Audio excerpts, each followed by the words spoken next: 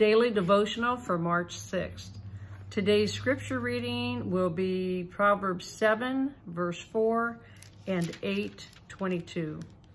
Say to skillful and godly wisdom, You are my sister, and regard understanding or insight as your intimate friend.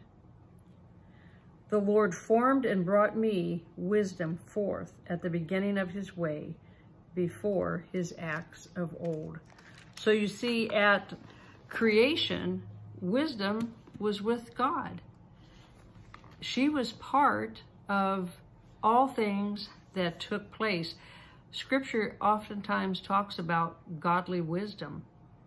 Now, here's the reason I wanted to bring that today is many times in my dreams, I have a dream with my sister. And depending, sometimes in my dreams, my sister is just that, my sister. And other times I know that she represents wisdom. So it all depends on what's going on in the dream. But wisdom was with God. And wisdom was part of the creation.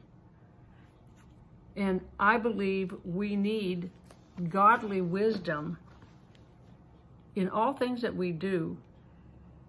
I'm not saying that wisdom is the Holy Spirit, but wisdom was there with the Father.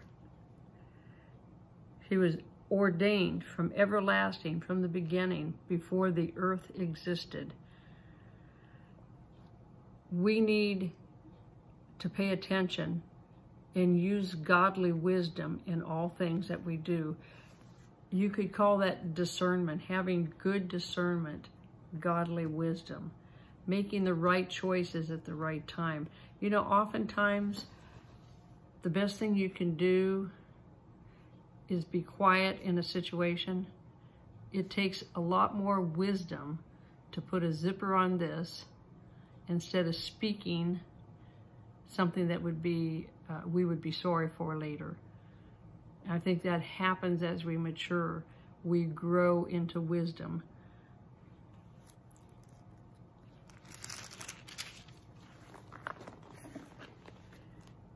Say to skillful and godly wisdom, you are my sister, and regard understanding or insight as your intimate friend. We need insight and understanding, good discernment, and it will keep us on the right track, going the right way, um, making right choices, helping others.